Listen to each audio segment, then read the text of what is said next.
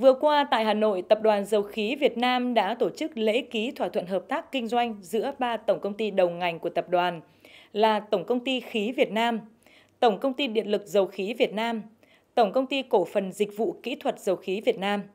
và lễ ký thỏa thuận hợp tác giữa Tổng công ty Khí và Tổng công ty Hóa chất và Dịch vụ Dầu khí.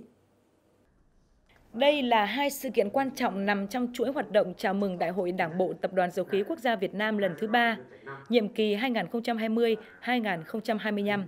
Phát biểu tại lễ ký kết, lãnh đạo PVN đánh giá cao nỗ lực của các đơn vị trong thời gian qua, nhất là khi các thành viên đều đang hoạt động theo mô hình mới, cách thức mới. Có thể nói đây là sự cố gắng nỗ lực của các đơn vị trong điều kiện kinh doanh khó khăn, nhất là đang thời điểm dịch bệnh. Trong thời gian tới để sớm tạo ra sự tăng trưởng cho PVN Việt Nam, rất mong các đơn vị chú ý triển khai các dự án đã được bổ sung trong nhóm dự án cấp bách, tập trung vào xây dựng các kế hoạch để triển khai mô hình liên kết ngang. Cam kết từ phía tập đoàn là luôn tạo điều kiện hỗ trợ tối đa để các thành viên phát triển, từ đó hiện thực hóa những gì mà các đơn vị đã ký kết hôm nay và những lần tiếp theo.